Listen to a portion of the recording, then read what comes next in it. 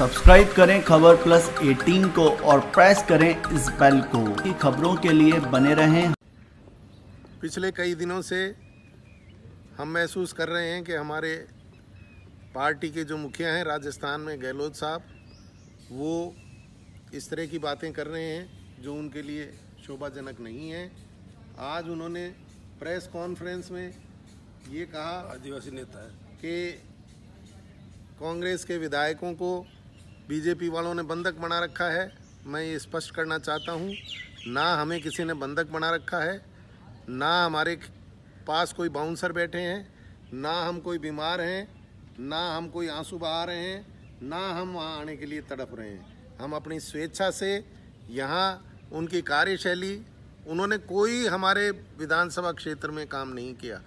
हमने इतनी कोशिश की, डेढ़ साल में इतना प्रयास किया कि मेरे यहाँ कुंभाराम लिफ्ट का परियोजना का पानी लाओ, मेरी जनता पानी से त्रस्त है, मेरे इलाके को जिला बनाओ। कई तरह की मांगे हमने उनसे जो रखी डेढ़ साल के पीरियड में, एक भी मांग पे उन्होंने ध्यान नहीं दिया।